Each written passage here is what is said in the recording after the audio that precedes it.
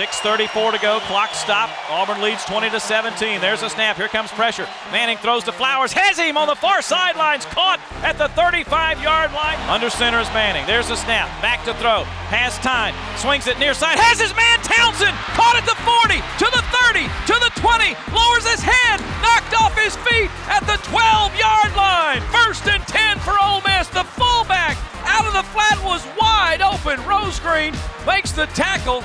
But what a call by Eli Manning and a perfect pass. Plenty of touch. He didn't lead his man too much, laid it right in there and down to the 12. Harry that one. Good enough for 48 yards and a first. Eli Manning under center. Auburn stacked in tight from the two. There's the snap to give to Jacobs right side. He's in the end zone.